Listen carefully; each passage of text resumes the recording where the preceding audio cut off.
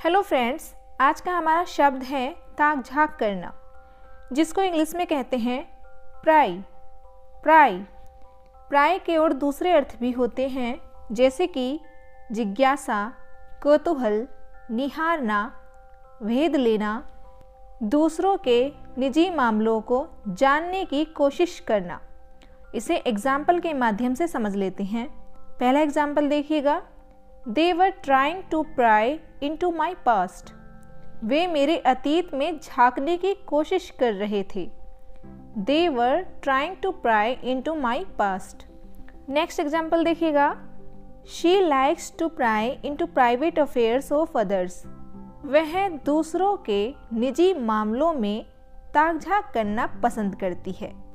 या वह दूसरों की ज़िंदगी में झांकना या उनका भेद लेना पसंद करती है। दोस्तों, अगर आपको इसी तरह की वीडियो और भी चाहिए तो नीचे कमेंट बॉक्स में ज़रूर लिखिएगा और चैनल को सब्सक्राइब कीजिएगा शेयर कीजिएगा और वीडियो को लाइक कीजिएगा।